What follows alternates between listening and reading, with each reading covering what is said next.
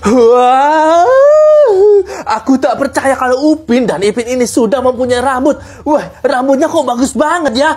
Hmm, kalau menurut kalian lebih bagusan mana nih? Upin Ipin yang mempunyai rambut atau yang botak? Lah, kalian isi ya di kolom komentar sini ya.